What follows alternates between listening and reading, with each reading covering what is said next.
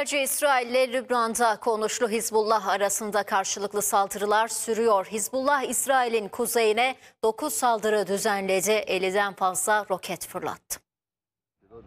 Hizbullah yukarı Celile bölgesine roket saldırısı düzenledi. 50'den fazla roket fırlattı. Bölgeden dumanlar yükseldi. Hizbullah İsrail'in askeri noktalarını hedef aldığını belirtti. Saldırıların başarılı olduğunu iddia etti. Hizbullah ayrıca İsrail'in düzenlediği saldırıda bir mensubunun öldüğünü açıkladı.